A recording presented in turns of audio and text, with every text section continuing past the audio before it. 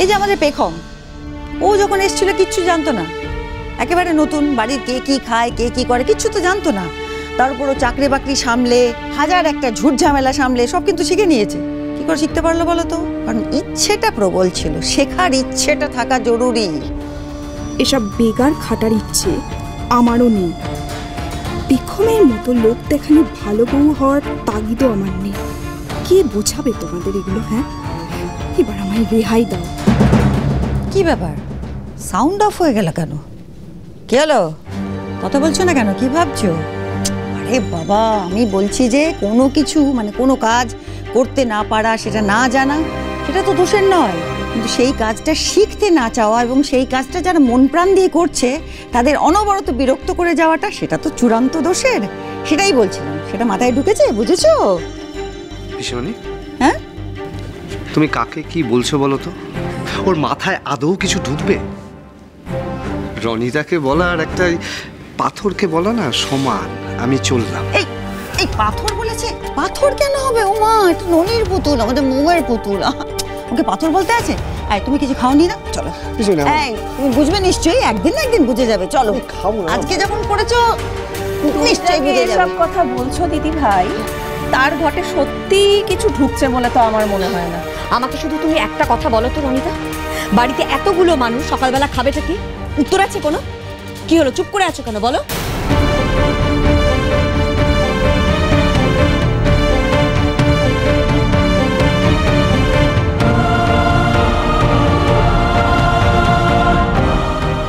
মা, সব খাবার রেডি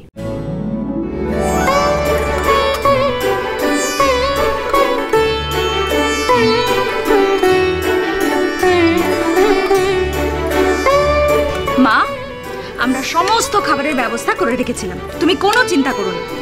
যদি কোনো গন্ডগোল হয়, সেই ভেবে ব্যাকআপ খাবার তৈরি করার বুদ্ধিটা কিন্তু পেখমেরই ছিল। ভাগ্যিস বলেছিল, খাবারটা তো লেগে গেল কাজে। বাবা, পেখম কামাল করে দিচ্ছ। কিরে বড়, তোর নাকি বৌমাকে নিয়ে চিন্তা ছিল? তো বারবার প্রমাণ করে দিচ্ছে যে ওই সেরা বৌমা হ্যাঁ? কি, তাই তো? তার মানে এই জন্যে পেখম ওরকম ব্যস্ত হয়ে আসছিল তখন আঁচলে হাত মুছতে মুছতে। লুকিয়ে লুকিয়ে ব্রেকফাস্ট করছিল তার মানে। হুম। আরে এগুলো তো খিদে পেয়েছে মনে হচ্ছে। চল খাবার। সামনে থ্যাংক গড বেঁচে গেছি এ যাত্রা। এই পোড়া পাউরুটিগুলো কি হবে বা? তুমি আবার তুমি চুপ করো। আমি তো দেবোই যার বউ বানিয়েছে তাকেই দেবো। উফ বাবা বড় বৌদি আর পাচ্ছি না। এবার চলো খিদে পেয়েছে খাবার দেবে চলো। এইদিকেও খিদে পেয়েছে হয়ে গেছে সবাই চলো চলো চলো চলো জমালিকা পেখম তোমরাও একসাথে বসে পড়ো।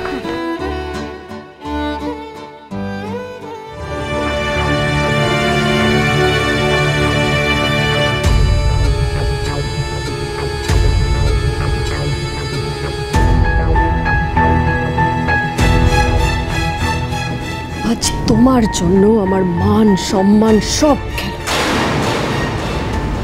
একটা কিচ্ছু জিনিস শিখবে না তুমি, তাই না? হ্যাঁ?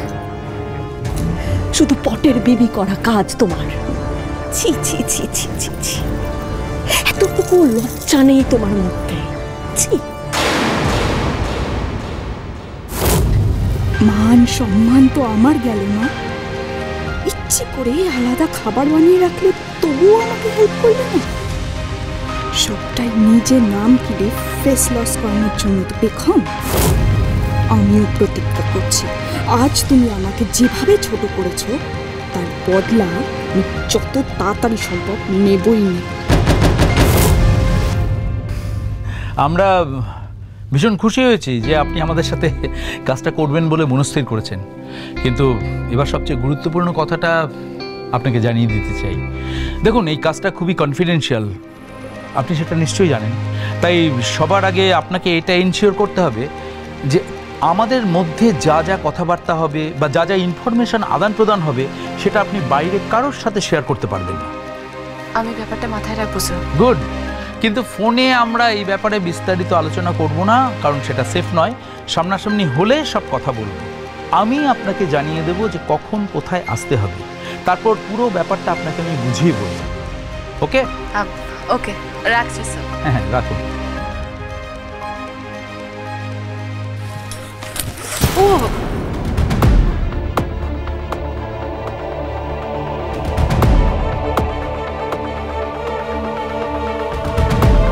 অঙ্কিতা তোমার শরীর ঠিক আছে তো? মুখ চোখ এরকম? তুমি তাড়াতাড়ি বাড়ি চলে এলে তোমার না অ্যাসাইনমেন্ট ছিল?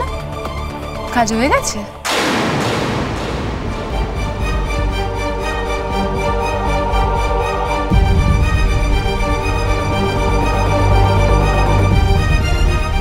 তুমি কাঁদছিলে? ভৌমনি আমার একটু কপালটা খুব যন্ত্রণা করছে। আমি একটু ঘরে যাই, প্লিজ।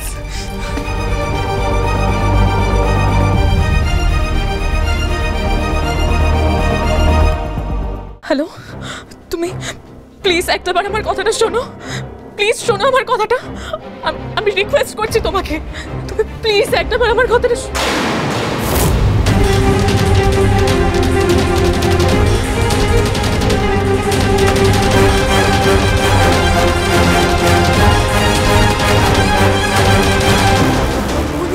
তুমি? তুমি এখনও বলবে অঙ্কিতা? তোমার কিছু হয়নি? তুমি কার সঙ্গে ফোনে কথা বলছো?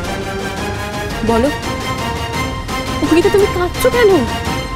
প্লিজ বলো অঙ্কিতা তোমার কি হয়েছে? বলো। আচ্ছা বেশ তুমি আমাকে বলবে না কিন্তু তোমার ছোট ভাইকে তো বলবে। আমি তোমার হাত জোড় করছি। তুমি প্লিজ কাউকে কিছু বলো না। ও ও যদি জানতে পারে সবাইকে সবটা দেখিয়ে দেবে। কে কে কে জানতে পারবে অঙ্কিতা? সবাইকে সবটা দেখিয়ে দেবে। আমার বাড়ির লোক সবটা জেনে গেলে আমার- কলেজে জেনে গেলে তো সবাই অঙ্কিতা! অঙ্কিতা! অঙ্কিতা! অঙ্কিতা অঙ্কিতা, কি হলো?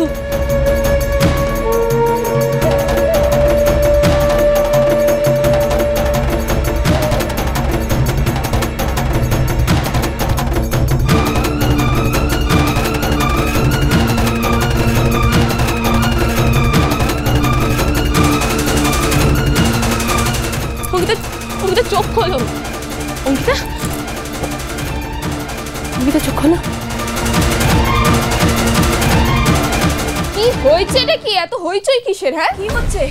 কি হচ্ছে? এই সরো সরো। ও- অঙ্কিতা অঙ্কিতা এভাবে শুয়ে আছে কেন? অঙ্কিতা? আর ও বাড়ি ফিরলো কখন? সেটা তো জানতে পারলাম না তার উপর এই অবস্থা। কি ব্যাপার? এই অঙ্কিতা কি অজ্ঞান হয়ে গেছিল নাকি হ্যাঁ? আর পেখম তুমি বা এই ঘরে কি করছ? অঙ্কিতার শরীরটা খারাপ রনিতা। ভাবলে ওটা নিয়ে ভাব। কি শরীর খারাপ লাগছে মা? কি হয়েছে ওর? কি হয়েছে অঙ্কিতার আমি তো নিজেই কিছু জানি না। বাড়ির লোককে কি বলব? কিন্তু কিছু তো একটা বলতেই হবে আমাকে। কি হলো? কি ভাবছ?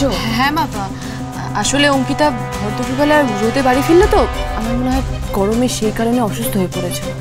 মা তাহলে তো ছোট ওকে তো একটু নুন চিনি জল দিতে হবে।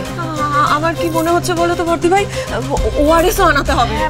তাই তো তোর বাবা কেন যে এলাম? আবার এসব করতে আমাকে না পাঠায়। এ কি অঙ্কিতার ফোনটা এভাবে মাটিতে পড়ে আছে কেন?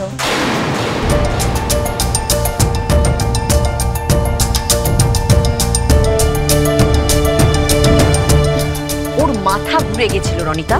পড়ে গেছে হয়তো। আচ্ছা দেখো তো ফোনটা ভেঙেছে কিনা। না না কিছু হয়নি। আরে শোন না আমি বলি কি তোর তো শরীর খারাপ লাগছে একটু জল খাবি? দাঁড়া তোর জন্য আমি নুন চিনির জল করে নিয়ে আসি। তুমি তুমি ব্যস্ত হয়েও না? আমি- আমি ঠিক আছি এখন ঠিক আছে। যাক আমাকে অন্তত নুন চিনি আর ওআরএস আনতে পাঠাবে না। রোদে কষ্ট হয় তো জানিস বাসে না এসে একটা এসি ট্যাক্সি নিতে পারলি না? একটা কথা যদি তোরা শুনিস। বড় মা আমি ঠিক আছি। প্লিজ চিন্তা করো না। শুধু একটু মাথাটা ঘুরে গেছিল তাই। হ্যাঁ তাই। শুধু কি রোদের দোষ বর্তি ভাই? হ্যাঁ? সারাক্ষণ সারা রাত জেগে ফোনের দিকে তাকিয়ে বসে থাকে। এক ফোঁটাও ঘুমায় না গো। আমার ফোন? ওই দেখো দেখেছ? আরে বাবা ফোনটা তো ওখানেই রাখলাম টেবিল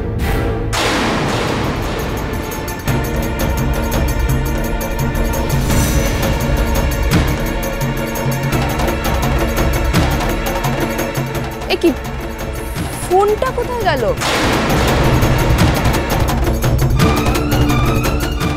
পেখম? পেখমও তো এই ঘরে ছিল। পেখম কোথায়? বৌমনি এই ফোন থেকে কোনো না কোনো ক্লু আমি পাবো। অঙ্কিতা কার সঙ্গে কথা বলছিল সেটা জানা খুব দরকার। তুমি যখন কোনো সলিউশন পাচ্ছ না, তুমি যখন কিছু বুঝতে পারছ না তাহলে নিজের মাথায় কেন চাপ নিচ্ছ তুমি আমাকে বলো অঙ্কিতা। আমি তোমাকে হেল্প করব। আমার ফোনটা কি কেটে দিয়ে তুমি ঠিক করলে অঙ্কিতা। এ তুমি জানো না যে তোমার পুরো লাইফটা এখন আমার উপর ডিপেন্ড করছে।